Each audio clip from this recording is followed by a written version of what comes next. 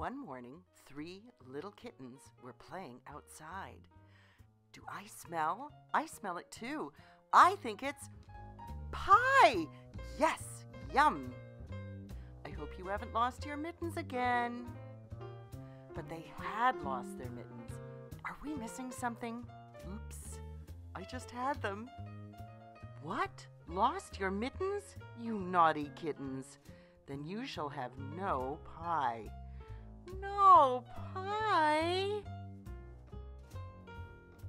Three Little Kittens by award winning author and illustrator Barbara McClintock about getting in and out of trouble, mittens, and eating lots of pie.